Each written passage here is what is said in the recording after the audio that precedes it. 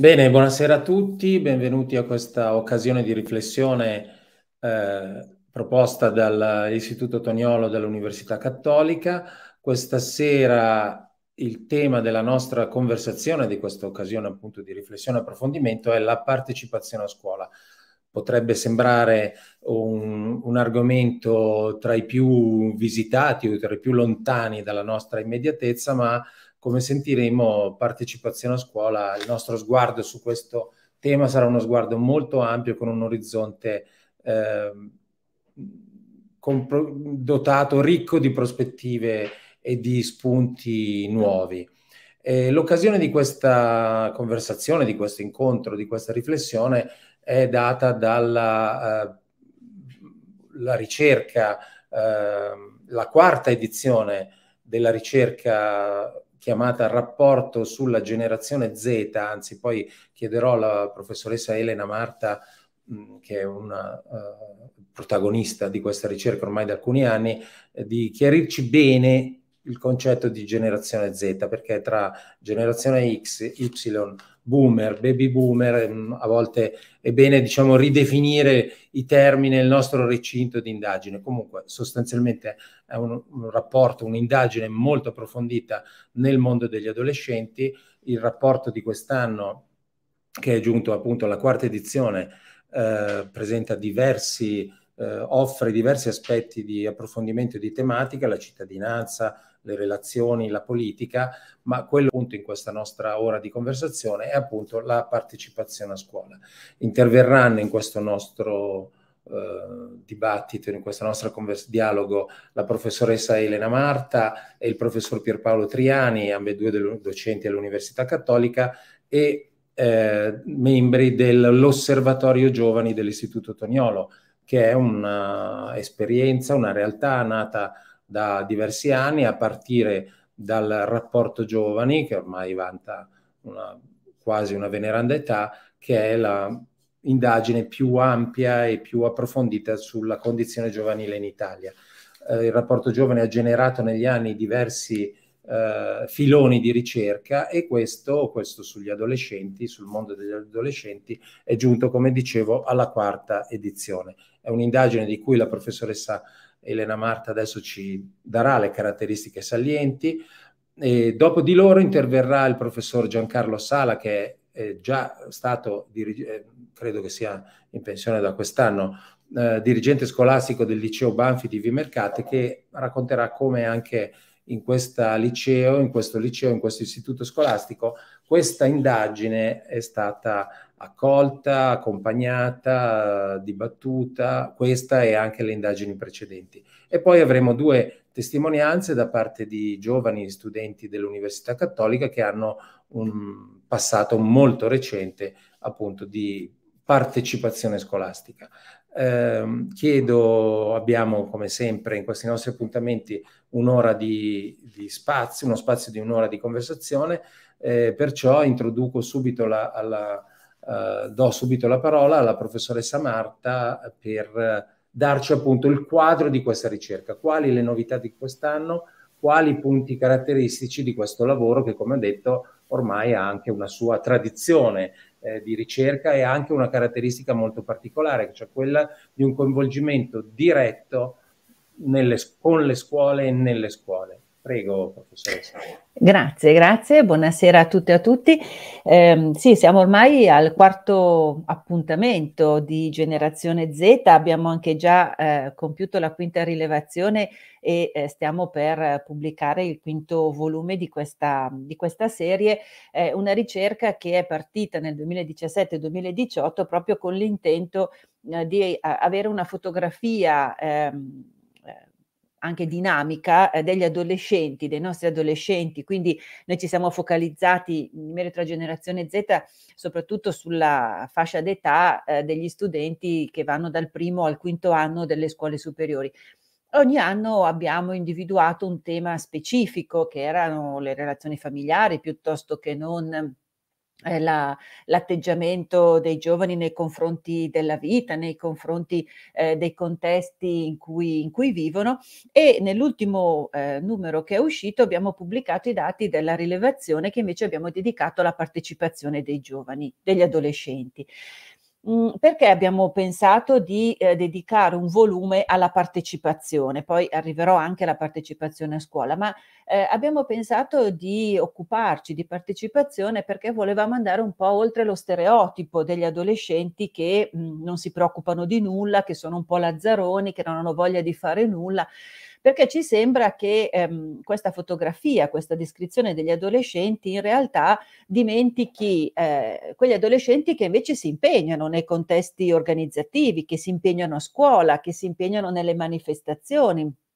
e di fatto, eh, per chi vorrà leggere il volume, eh, scoprirà che non sono pochi gli adolescenti che dedicano tempo, risorse, energie, desideri, sogni alla partecipazione nel contesto sociale. Dall'indagine eh, si vede come più o meno il 48% dei ragazzi e il 67% delle ragazze eh, ha avuto o sta avendo eh, forme diverse di partecipazione. Eh, il 13% è impegnato attivamente ora mh, in attività di volontariato. Non sono numeri propri, proprio così risicati se consideriamo il fatto che l'indagine è un'indagine nazionale che ha coinvolto eh, circa 8.400 studenti, ehm, una cinquantina di scuole in tutta Italia studenti, scuole, dirigenti, docenti a cui va, lo dico da subito, il nostro ringraziamento. Dicevo, in questo volume abbiamo voluto mettere a tema eh, la partecipazione proprio per questa ragione, per andare oltre gli stereotipi e perché noi sappiamo che la partecipazione, soprattutto in questa fase della vita, è molto importante, eh, non solo eh, perché consente di eh, incrementare l'autostima, prendere delle competenze relazionali, ma perché aiuta a costruire l'identità personale e sociale, soprattutto l'identità civica degli adolescenti, eh, aiuta a costruire eh, un'idea di sé come cittadino e quindi a sviluppare cittadinanza attiva e questo è molto importante per gli adolescenti ma anche per tutta la comunità. Nel testo abbiamo voluto considerare tutte le forme di partecipazione, tutte le occasioni che gli adolescenti hanno di prendere voce e di poter dare il loro contributo. Quindi ehm, forme partecipative e contesti diversi in cui queste forme possono essere eh, tradotte in azione ehm, siamo partiti dall'idea che partecipazione voglia dire prendere parte e quindi abbiamo studiato la partecipazione vuoi ai contesti organizzati, alle attività organizzate per lo più organizzate da adulti, in cui gli adolescenti però possono dare un contributo per il raggiungimento di un obiettivo comune condiviso, vuoi anche forme di impegno, di assunzione di responsabilità della persona che si traducono in un impegno personale, anche temporaneo, eh, con un obiettivo però che è condiviso, che è comune, che vuole mh, mm, eh, sviluppare appunto comunità e bene comune.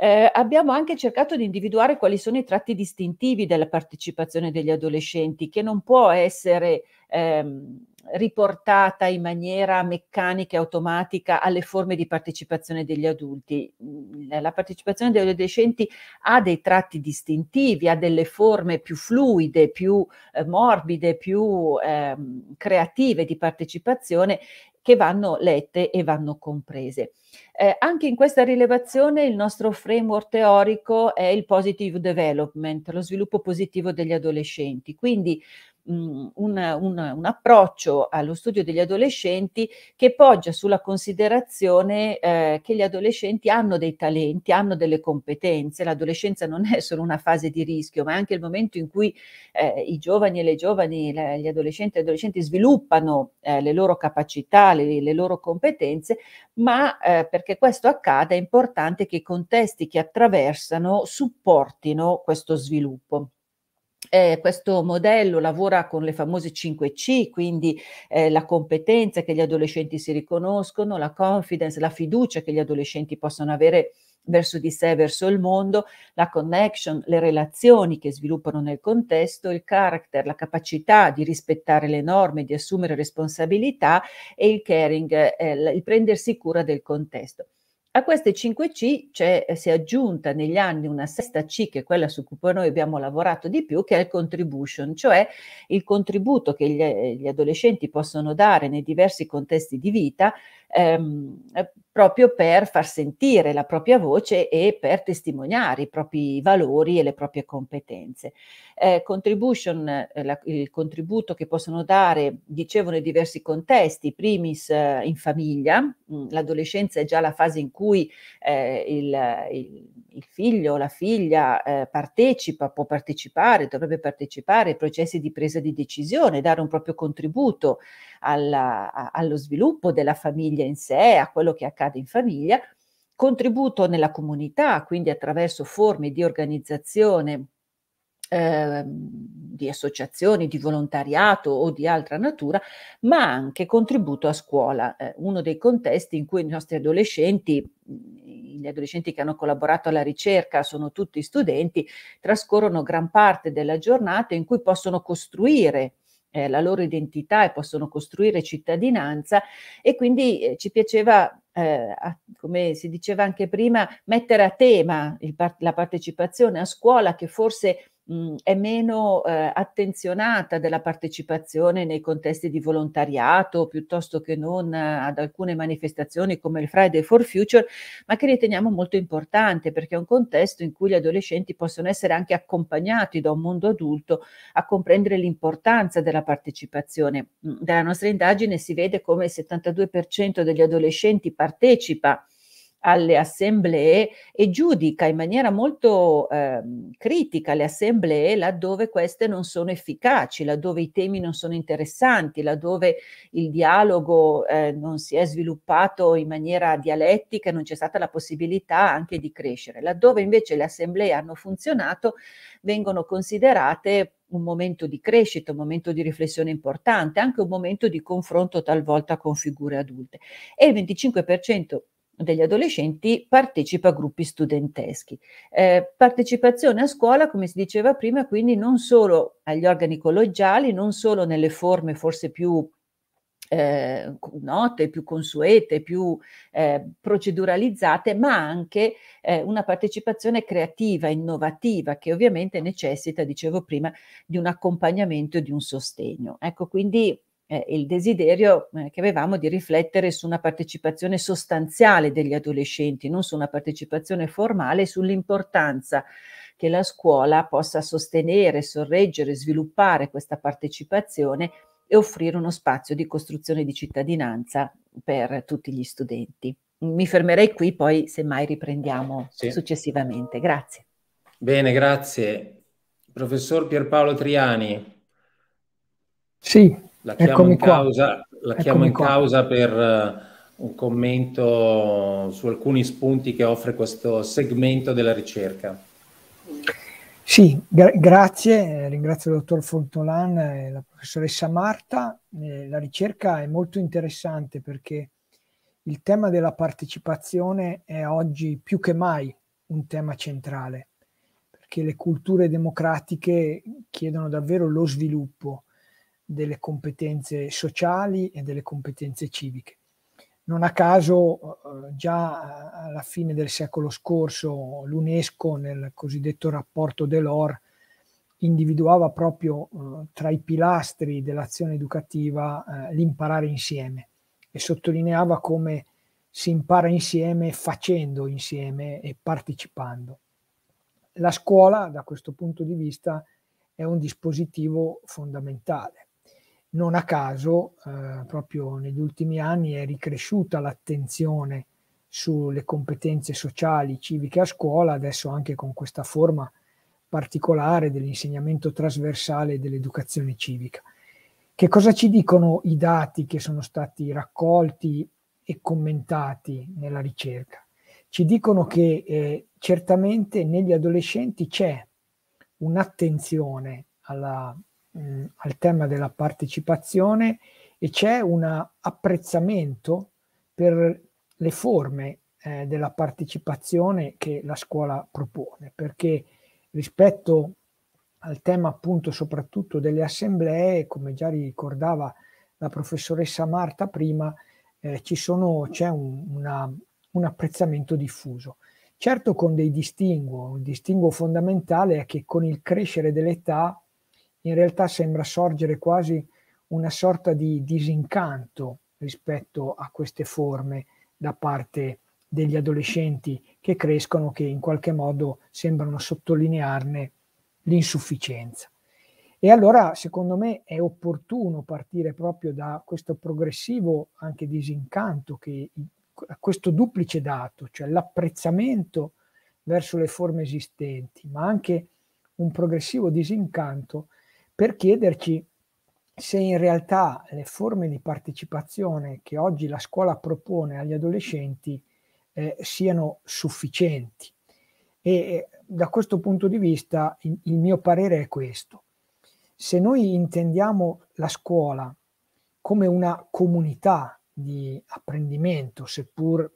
questo termine comunità vada messo molto tra virgolette in ragione anche dei numeri molto elevati che oggi compongono gli istituti scolastici, credo che il tema della, della partecipazione a scuola dei, degli studenti e delle studentesse vada arricchito. E ci sono già eh, delle esperienze in atto che eh, anche la ricerca mette in luce e che credo che anche stasera verranno prese in considerazione. Ma io volevo fare questo tipo di riflessione. Eh, le modalità di partecipazione degli studenti a scuola spesso o hanno due difficoltà. Una prima difficoltà è che possono limitarsi ad essere delle modalità espressive. Spesso la partecipazione alle assemblee è una partecipazione espressiva, cioè data la possibilità agli studenti di esprimersi, di dibattere, ma eh, non è chiaro fino a che punto gli studenti possono arrivare ad esempio a prendere delle decisioni e in che misura le decisioni che prendono influenzano poi la scuola. E l'altro eh, aspetto fondamentale è che nella scuola altre forme di partecipazione che sono messe in atto molto importanti, ad esempio la possibilità di fare esperienze di volontariato o la possibilità di partecipare a esperienze sul territorio, pensiamo al PCTO cosiddetto, cioè l'ex alternanza scuola-lavoro, ecco, non sempre però questo tipo di esperienze di partecipazione su, con il territorio eh, vengono eh, adeguatamente valorizzate all'interno poi della valutazione complessiva dello studente. Quindi c'è un problema poi eh, rilevante, anche se ci sono scuole virtuose in questa direzione, che pone proprio quale valutazione, quale valorizzazione delle forme di partecipazione poi si danno nel percorso eh, scolastico dello studente. Il problema secondo me però fondamentale che si pone, secondo me, soprattutto nella scuola secondaria, è che il tema della partecipazione si innesta su una struttura scolastica eh, che è tendenzialmente una struttura ancora troppo individualista e frammentata. E quindi credo che accanto al chiederci quale forme di partecipazione noi possiamo accrescere negli studenti, dobbiamo anche chiederci quale forme di partecipazione complessivamente noi possiamo accrescere nella scuola. Ad esempio il lavoro collaborativo tra i docenti ha secondo me ancora ampi margini eh, di sviluppo, così come tutto il tema del rapporto, della partecipazione della scuola con il territorio può trovare nei cosiddetti patti educativi di comunità, che sono stati anche promossi negli ultimi anni, certamente una un, un, un dispositivo molto interessante. Io credo che, e finisco, la scuola non può esimersi dal sviluppare partecipazione negli studenti, ma la partecipazione negli studenti la si promuove nella misura in cui non si lasciano solo degli spazi di espressione, ma si pensa il curriculum anche in modo che gli studenti possano esercitare delle scelte sul loro curriculum e possono anche attivare delle scelte di rapporto con il territorio che poi vanno a incidere anche sul loro percorso formativo. Per ora mi fermerei qui perché mi sembra poi molto importante anche ascoltare le altre persone che partecipano. No, bene, c'erano già diversi elementi, le domande sulle forme, se le forme di partecipazione siano sufficienti, il rapporto col territorio, la possibilità no, di esercitare davvero delle scelte che siano in qualche modo incidenti. Eh, nel dare la parola al professor Giancarlo Sala, che ha diretto liceo Banfi di Vimercate, che ha partecipato attivamente alla, alla, ricerca, volevo anche segnalare che tra i nostri ci sono alcune scuole in ascolto della nostra conversazione che hanno partecipato alla ricerca, e, ad esempio l'Istituto Tagliamento di Spilimbergo, che vorrei salutare simpaticamente tra i nostri ascoltatori partecipanti. Prego, professor Sala, perché la sua scuola è una scuola, le esperienze della sua scuola sono interessanti sia in termini di partecipazione come tale, sia in termini di coinvolgimento con, queste, con le ricerche del rapporto generazione Z. Prego. Sì, grazie e buonasera a tutti. Eh, partirei da una premessa, ecco, che eh, con eh, questo progetto noi siamo, abbiamo iniziato a lavorare con la, la professoressa Marta nel 2017-18.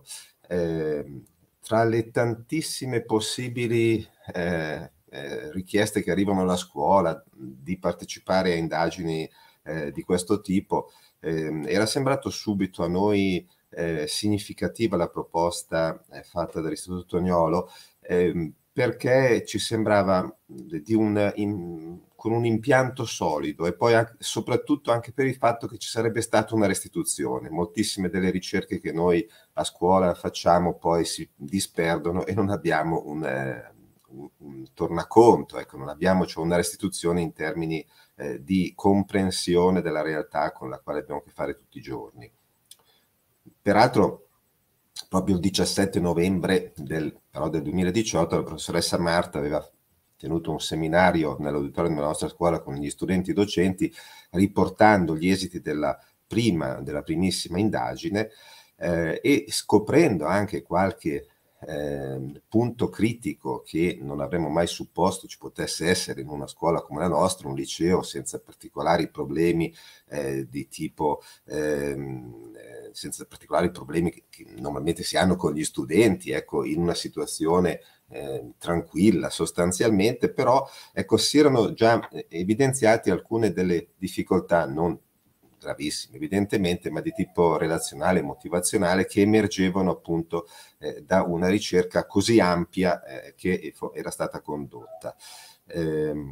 per cui quando una delle, eh, uno degli aspetti su cui appunto il collegio docenti e la commissione educazione della salute che aveva lavorato proprio da principio su questo era stata quella di dirigere questa ricerca sulla totalità degli studenti della scuola, ehm, proprio perché ehm,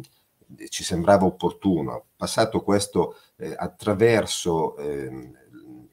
l'effettuazione della ricerca proprio materiale nelle ore dell'insegnamento eh, di religione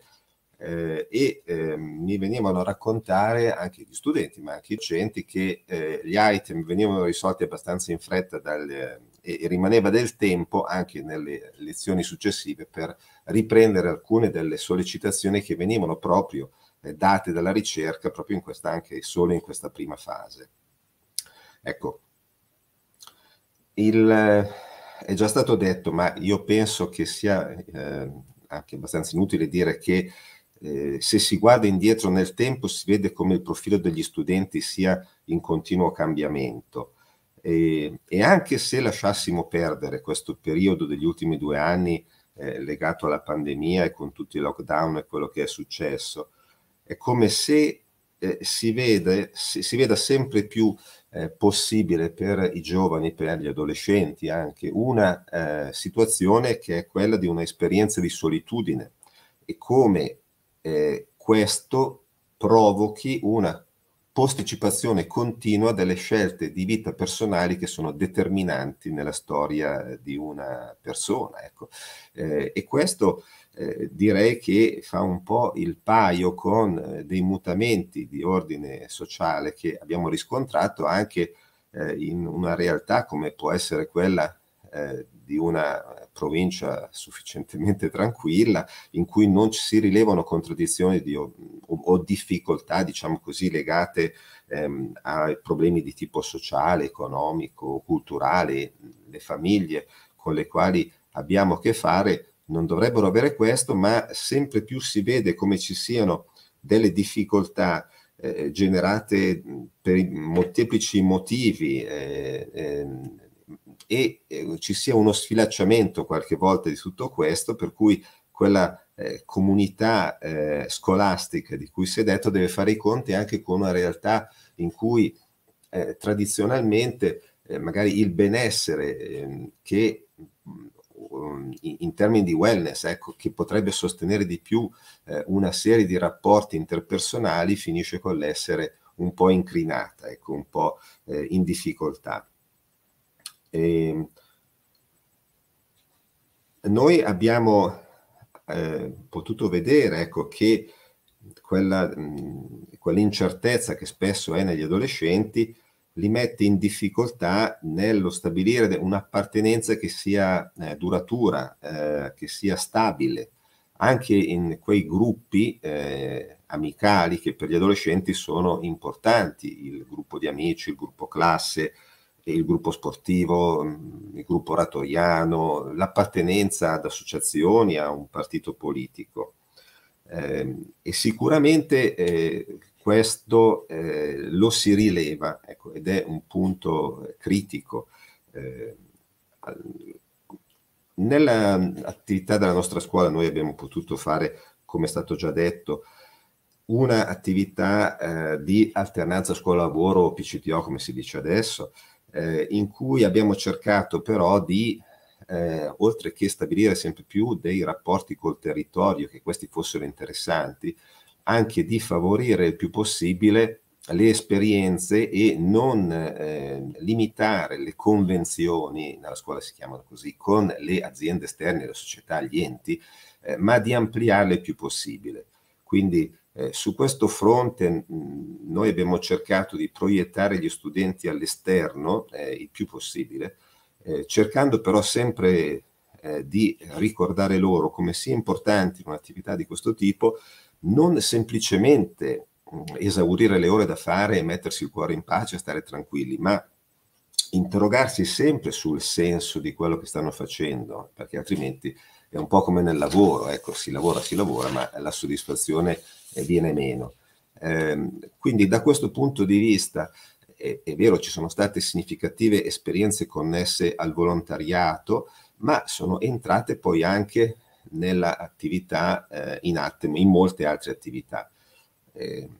una, un altro eh, fattore, ecco, è stato citato dal professor Triani, quello della ehm, nuova legge che dal, dalle linee guida del 2020 eh,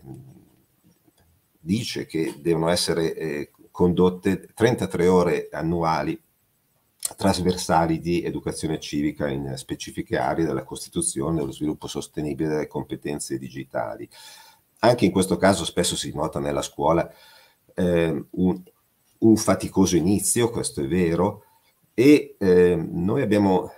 a scuola cercato sempre anche in questa situazione di dare eh, delle ragioni eh, e di cercare di interpretare la realtà individuando eh, e analizzando, diciamo così, tutto quello che stava intorno, cercando di accompagnare gli studenti in un tentativo di giudizio. Eh, abbiamo fatto anche qui, eh, o si, per brevità cito magari l'esperienza del Fridays for Future che ha accolto un po' tutti quanti, eh, soprattutto nell'epoca in cui ancora si era in presenza a scuola eh, e adesso stanno riprendendo forme di questo tipo. Eh, può essere semplicemente che uno studente dica eh, è il giorno buono per non andare a scuola, oppure mh, vado in manifestazione e ho una certa coscienza. Ehm, la eh, ripresa di questi temi che costituiscono quindi una coscienza civica di cittadinanza, sviluppo sostenibile, eccetera, eccetera, è passata magari eh, originalmente anche in proposte che sono venute e dai docenti e anche dagli studenti, cioè eh, eh, operare eh, con riflessioni sull'enciclica Laudato Si oppure ehm, mettersi in rapporto con eh, le scuole straniere con le quali abbiamo eh, scambi in modo da vedere che cosa succedesse negli altri paesi europei eh, a proposito di un fenomeno come questo, eh, con una certa creatività, ecco, anche da parte degli studenti. La partecipazione degli studenti a scuola avviene se eh, c'è una eh, possibilità di esprimersi, anche di essere appunto eh, creativi. Eh, fermarsi unicamente, la scuola non, è, non può essere semplicemente il programma, le indicazioni nazionali e tutto questo, eh, o la programmazione del consiglio di classe, ma deve essere invece una scuola che sia capace di leggere e giudicare la realtà, appunto perché la comprensione della realtà eh, non è che preveda essenzialmente eh, la sapienza e la possibilità di conoscere tutto lo scibile umano, c'è tempo. Ecco, noi diamo un metodo che è appunto quello che secondo me è l'aspetto più importante. È citata la questione del volontariato come appunto coscienza civica e cittadinanza. Nella nostra scuola abbiamo sempre avuto un particolare eh, occhio di riguardo, diciamo così, una situazione di... Eh,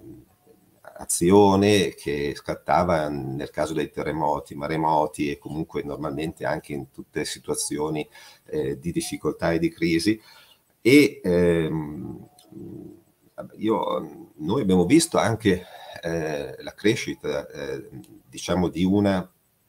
propensione al rapporto con gli altri, all'impegnarsi per gli altri, anche attraverso semplici gesti come quelli della colletta alimentare. Eh, normalmente due, tre, quattro classi eh, vanno nei supermercati eh, quel sabato della colletta alimentare oppure eh, la scuola è totalmente impegnata poi in, in raccolte sempre della colletta alimentare che fanno riferimento a esperienze come quelle del donacibo.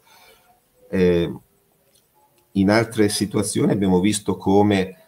eh, gli studenti a scuola eh, nella loro partecipazione usino eh, sempre più dei canali social e dei nuovi dispositivi tecnologici, qualche volta con una creatività, con una certa intelligenza. Ehm, proprio nei mesi ultimi dello scorso anno scolastico, una classe eh, in rapporto con un istituto di ricerca medico-scientifica milanese ha creato una piattaforma crowdfunding che in eh, 4-5 giorni ha raccolto un'isperata cifra di soldi eh, connessi poi alla distribuzione eh, di scatole di pomodoro pelati da parte di questa associazione. Certo, ehm, si tratta appunto di ehm, mettersi in rapporto con gli studenti, ascoltare le loro necessità, le loro idee anche e, e dare loro anche po' di carta bianca, eh, fidandosi anche di quello che possono fare, come si diceva prima, anche sempre con una presenza di una figura adulta, di un docente, di più persone che in qualche modo siano di aiuto e eh, eh, guidino ecco, in qualche modo, eh, nel modo migliore, le attività che gli studenti fanno. Eh, certo, il livello della relazione nella scuola non può essere affidato unicamente alle piattaforme, ai social, eccetera. Vediamo in questi mesi nel ritorno a scuola eh, una eh, ripresa del lavoro in presenza con una larghissima soddisfazione da parte degli studenti. Eh, da ultimo vorrei solo dire qualcosa intorno alla partecipazione agli organi collegiali. Allora, dal 74 ci ritiriamo dietro con 100.000 promesse di riforma eh, mai eh, attuate, questo dal punto di vista eh, legislativo e eh, normativo. Ehm, stanno funzionando evidentemente con eh, le difficoltà che tutti noi conosciamo, eh, le situazioni di pandemia, il fatto che non si siano più più potuti fare eh, in presenza, eh, può avere facilitato la partecipazione, ecco, perché eh, chi, i genitori, anche gli studenti, eh, non avevano problemi logistici di trasporto. Si tratta di capire poi eh, in una eh, situazione normalizzata come sia possibile riprendere un'attività ecco, da parte degli organi collegiali che sia significativa. Però devo anche dire che eh, laddove gli studenti si sentono partecipi e trovano spazio per poter in qualche modo fare delle proposte, mm, nella scuola che ho diretto ci sono sempre stati eh, molti gruppi che si sono interessati di teatro, di, di cinema, di fotografia, di, ecco, ehm, e che hanno animato poi personalmente questi ragazzi tantissimi momenti. Ecco, questi poi finiscono con l'essere un trampolino di lancio per chi poi tenta, ecco, diciamo così, di impegnarsi più eh, costantemente in una funzione qual è quella del delegato del consiglio di istituto. Il delegato del consiglio di classe è abbastanza normato e stabilizzato. Quello del consiglio di istituto deve cercare di essere più creativo, non è sempre semplice perché qualche volta deve fare i conti con delle riunioni che non sono in, diciamo, eh, se, sempre del tutto attraenti. Ecco, eh, in tutto questo volevo semplicemente dire che eh, eh, una scuola che partecipa appunto è una scuola che cerca di eh, guardare tutto quello che succede, di accogliere anche tutte le istanze che vengono dai genitori, dai docenti e dagli studenti. Grazie. Bene, grazie Giancarlo Sala per l'ampio ventaglio che ci ha offerto eh, in termini di partecipazione, allargando, molto lo sguardo no? a tutta questa ampiezza di opportunità e di sollecitazione che la sua scuola ha proposto. Nel dare la parola ora a chi ha vissuto in prima persona alla partecipazione proprio nella vita scolastica, volevo anche segnalare che tra le scuole presenti, così vorrei salutare adesso mm, il, il liceo Bodoni di Saluzzo, l'AFP di, l'AFP di, di Dronero in provincia di Cuneo, e danno un po' il senso di realtà che sono state coinvolte nel corso del tempo da questo lavoro di indagine, come appunto eh, diceva all'inizio la professoressa Elena Marta. E altre speriamo se ne aggiungeranno nel futuro, perché dopo eh, diremo anche che sta per partire e come partirà la nuova eh, rilevazione. Ora darei la parola a Nicole Properzi che è studente dell'Università Cattolica, ma che ci racconta un po' questo suo recentissimo passato di vita e partecipazione scolastica. Prego, Nicole. Grazie. Eh, buonasera a tutti, sono Nicole Properzi, come appunto abbiamo già detto sono una studentessa dell'Università Cattolica e frequento il primo anno di Economics e Management. E ehm, l'anno scorso nella mia scuola, che era un liceo francese nella città di Torino dove abitavo, ho potuto eh, ricoprire la carica di rappresentante d'istituto e nel mio liceo la, questa carica dura due anni, quindi io sono stata rappresentante d'istituto dal 2019 al 2021, che come ben si sa sono stati due anni abbastanza difficili perché nel febbraio del 2020 è scoppiata appunto la pandemia del coronavirus in Italia e, e quindi sono state molte le difficoltà. Le ragioni che mi hanno spinto a diventare rappresentante d'istituto sono eh, principalmente tre. La prima è che sono una persona molto solare, quindi mi piace mettermi in gioco e mm, eh, diciamo avere un contatto con le persone, anche perché questo mio essere solare mi fa essere molto creativa, quindi eh, le idee da mettere in atto erano di progetti da comunque poter riuscire a fare, erano numerose. Eh, la seconda è perché mh, è una possibilità per, diciamo, aiutare le persone che magari, eh, tra virgolette, si vergognano un po' a dare la loro opinione e quindi essere, tra virgolette, il loro testimone, la loro voce. E soprattutto perché secondo me è un'occasione per crescere e maturare dal punto di vista personale. Appunto, come ho detto prima, questi ultimi due anni sono stati abbastanza difficili perché ehm, per gli studenti sono stati eh, destabilizzanti a causa della pandemia.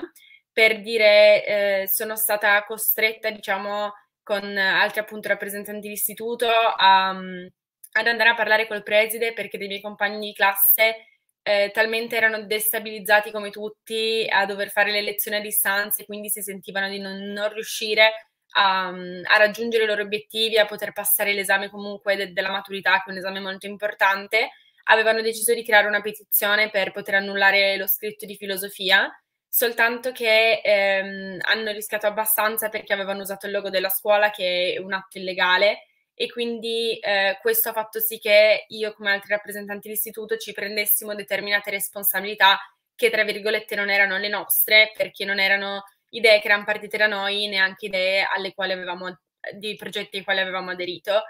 Ma soprattutto è stato un anno difficile perché avendo il contatto a distanza, quindi dovendo frequentare le lezioni a distanza, non soltanto gli studenti erano demoralizzati, quindi non, non avevano neanche voglia di seguire veramente le lezioni, ma ehm, sono, è stato difficile poterli contattare perché quando bisognava prendere una decisione si potevano fare per dire dei sondaggi online, ma non erano tante le persone che rispondevano e quindi bisognava, tra virgolette, correre dietro a tutti eh, per far sì che ci fossero un numero di risposte possibili da poter capire la media più o meno eh, in che direzione voleva andare rispetto a un argomento piuttosto che a un altro.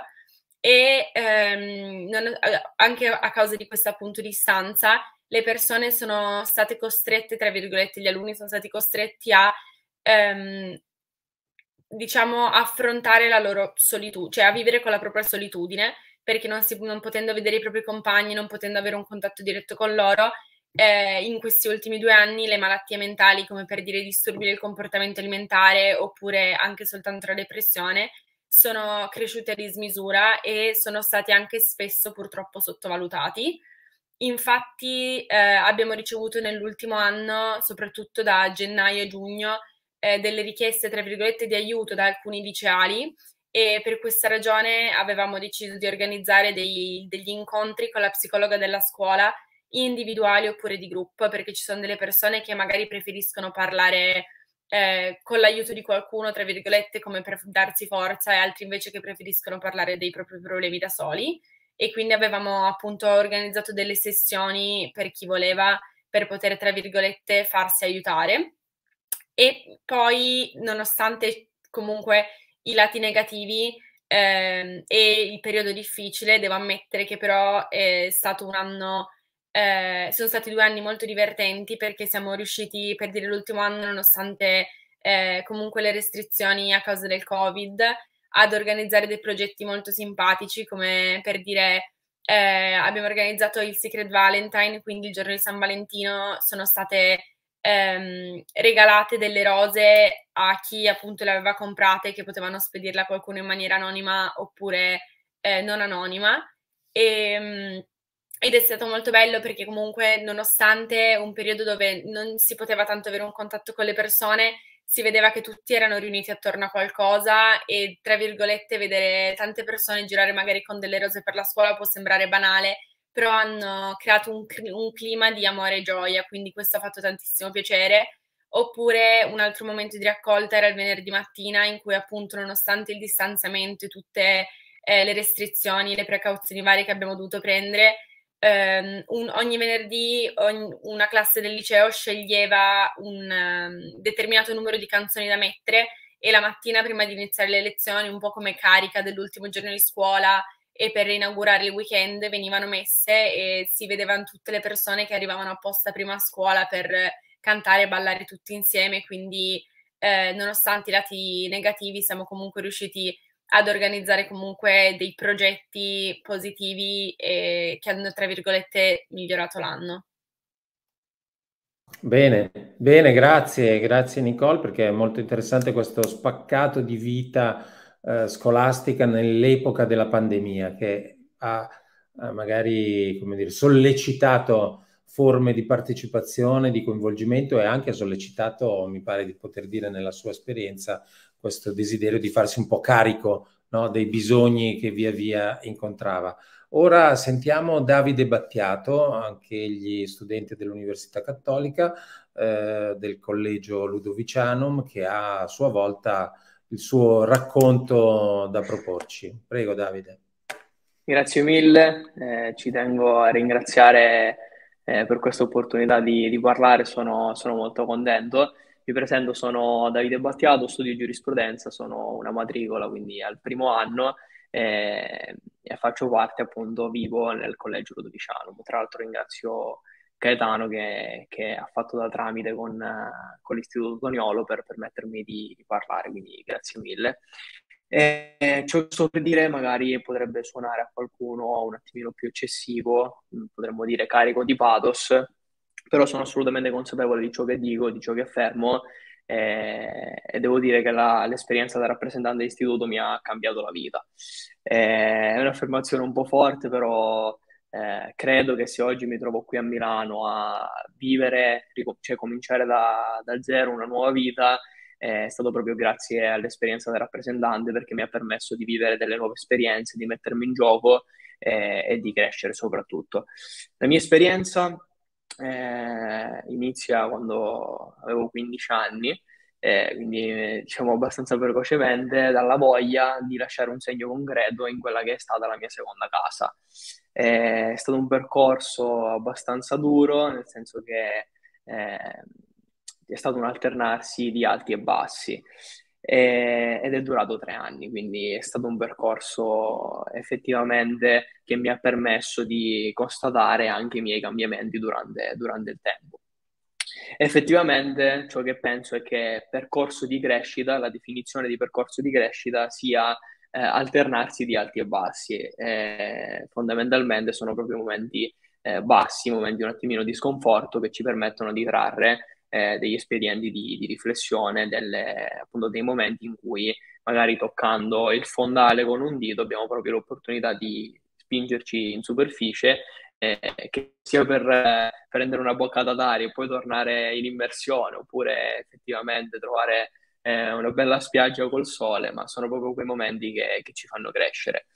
Ehm, cosa ho imparato dalle, dall'esperienza da rappresentante? Parallelamente alla mia prima elezione, avevo 16 anni,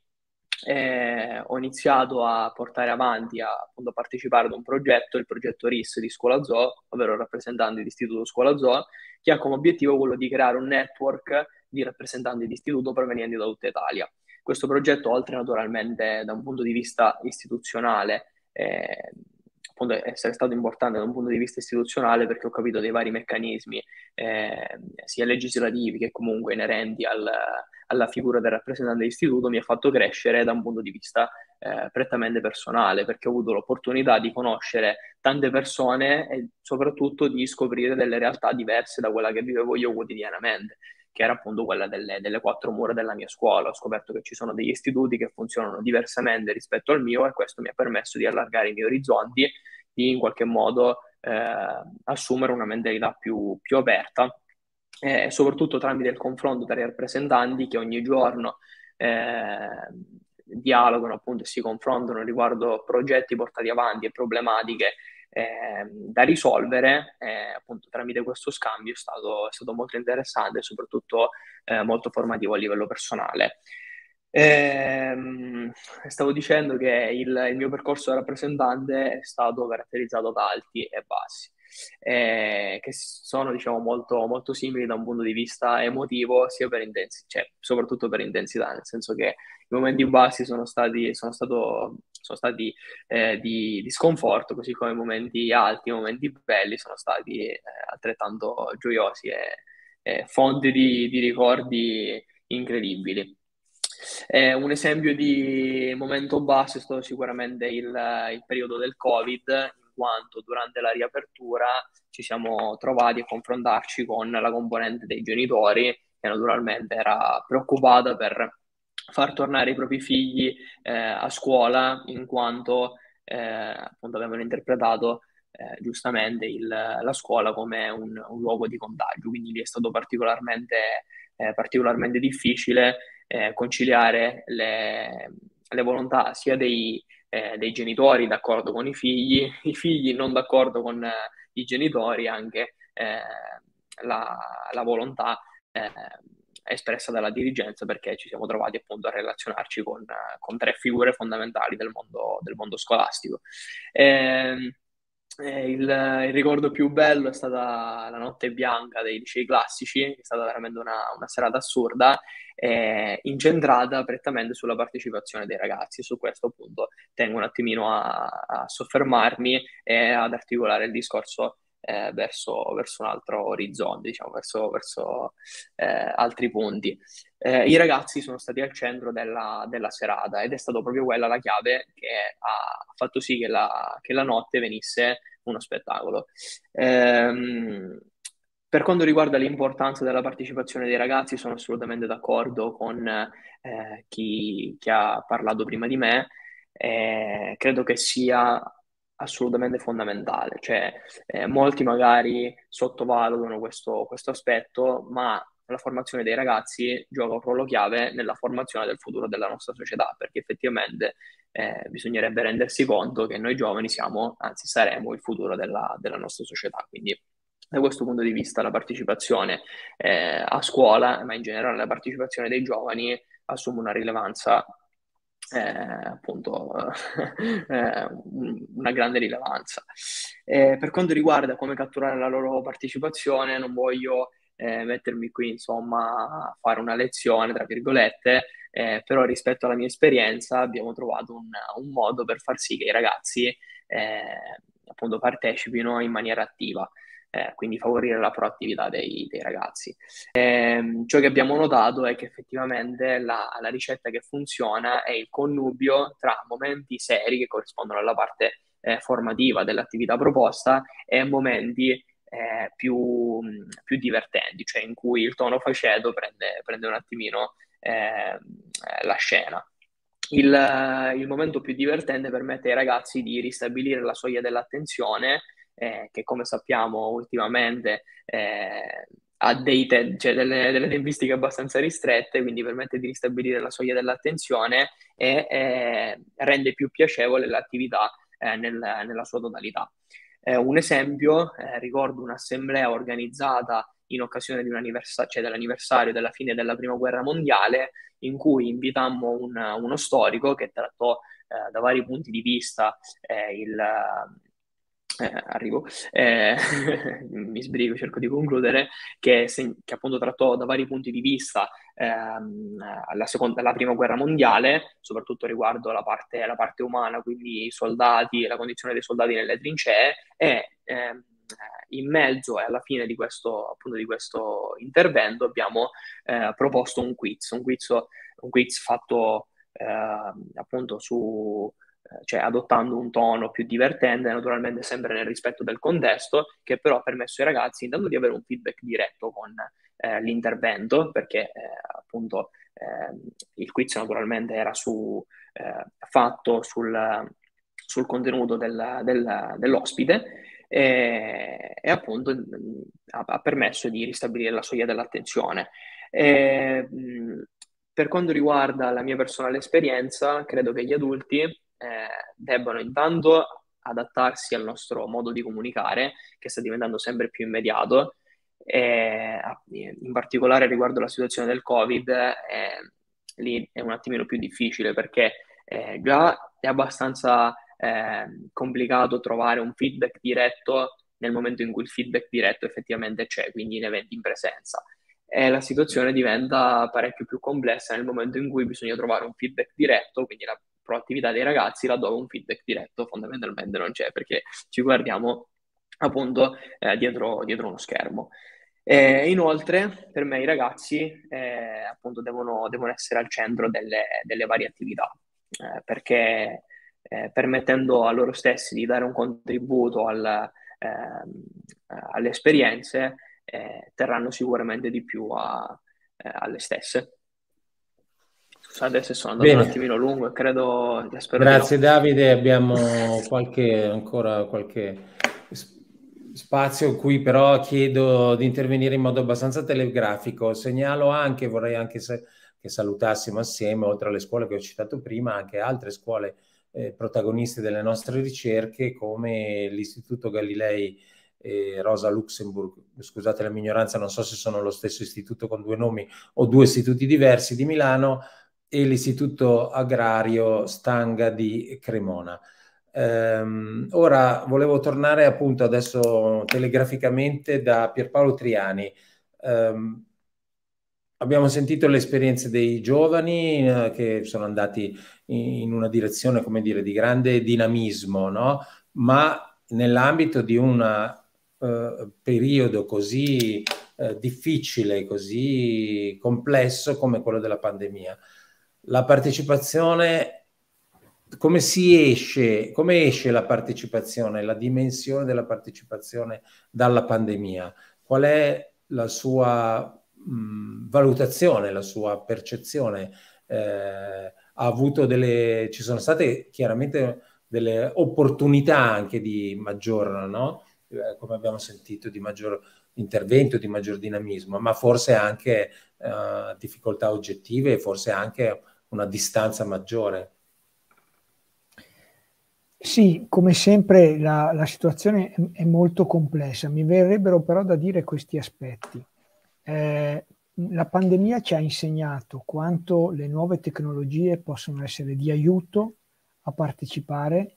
ma non possono sostituire l'interazione,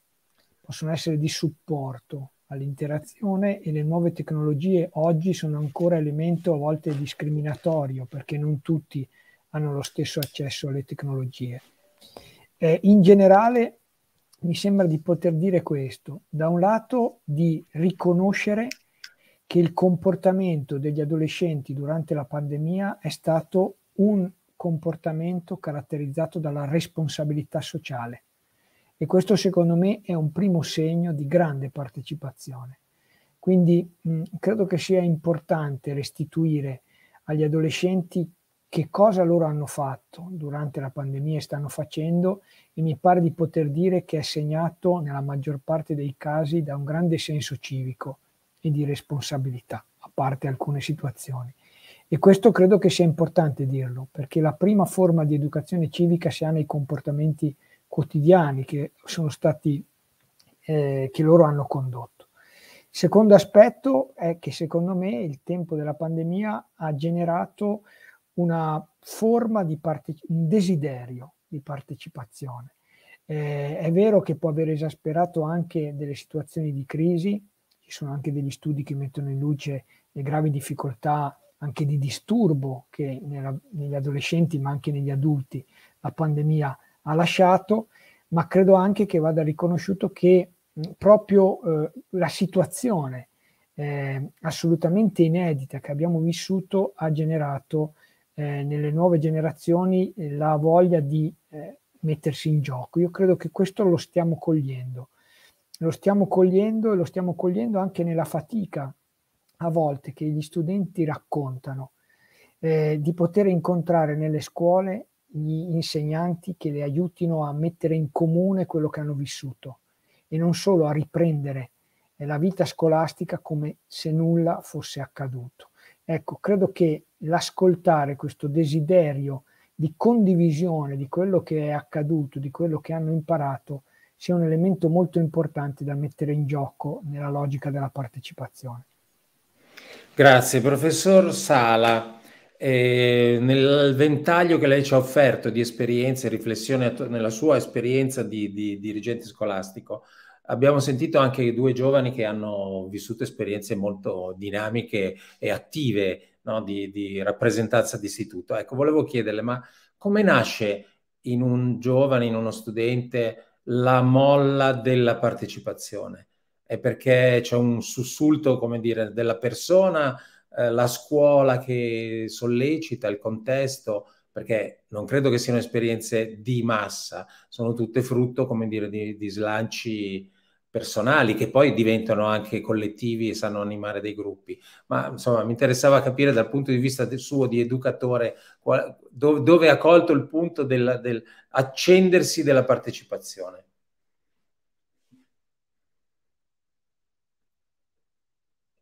Mm, deve riattivare il microfono, credo. E naturalmente ah, telegrafico, siamo sì, come in TG1 che... delle 20 sì, sì. Dicevo che in tanti anni di scuola eh, penso che questo sia potuto eh, essere evidente per me come osservatore eh, quando eh, ho, ho, visto scattare questa molla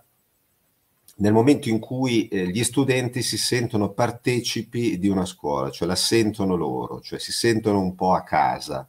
eh, e quindi eh, hanno eh, da questo punto di vista la possibilità di muoversi e di entrare nel gioco partecipativo, di sentirsi anche valorizzati per questo. Ecco, si diceva prima con il professor Triani che si deve, dovrebbe arrivare ad una valorizzazione delle forme di partecipazione anche in termini di valutazione. Eh, la scuola cerca di fare questo, eh, certe volte sono proprio gli studenti che facendo eh, loro si impongono e diventano così evidenti da eh, non poter eh, depistare nessuna possibilità di valutazione negativa. Ecco,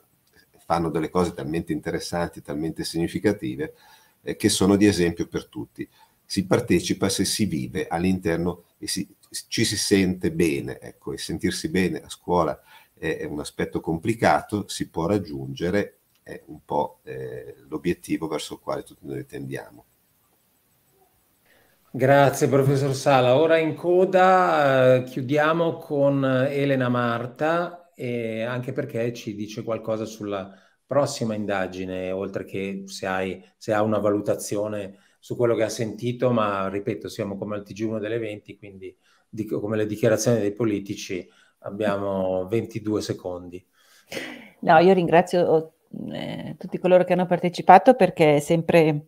è interessante, ho ricevuto molti spunti e molte riflessioni che poi cercheremo di tradurre in domande di ricerca, ehm, domande di ricerca che cercheremo di porre in una nuova rilevazione. Per chi ci ha accompagnato in questi anni, ehm, forse eh, l'idea di una nuova, di una rilevazione ulteriore è davvero una novità. Generazione Z è nata come una ricerca eh, quinquennale, quindi abbiamo seguito questi adolescenti dalla prima alla quinta e avevamo deciso di chiudere con questa rilevazione e poi l'evento straordinario che abbiamo vissuto ha indotto invece l'Istituto Tognolo a pensare ad un'ulteriore mh, rilevazione da effettuarsi nella primavera del 22 per capire in questo anno cosa, cosa è successo ai nostri adolescenti, come hanno vissuto la situazione eh, qua, e che cosa dalle loro parole eh, emergerà come richiesta sulla quale come eh, comunità educante, come adulti possiamo lavorare. Quindi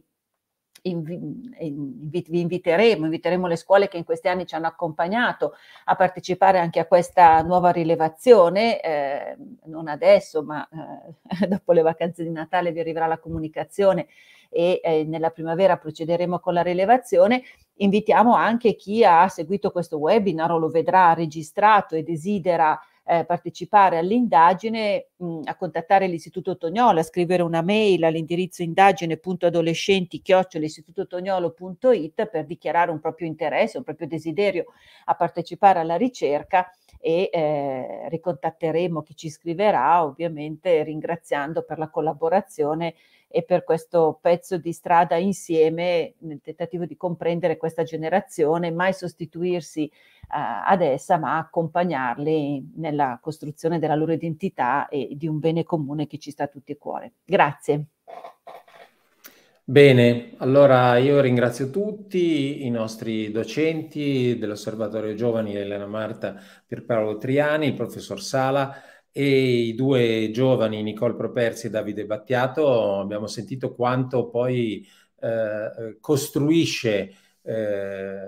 la partecipazione, c'era, c'è della stoffa e anche probabilmente del futuro eh, nelle, nelle parole che abbiamo sentito, nel dinamismo che abbiamo sentito da questi due giovani eh, studenti. Eh, ringrazio tutti i nostri ascoltatori, le scuole che hanno seguito la nostra conversazione. Eh, a nome dell'Istituto Toniolo e dell'Università Cattolica ci rivedremo per la prossima indagine. Sicuramente eh, continuerà il lavoro di ricerca sulla generazione Z. Grazie e buonasera.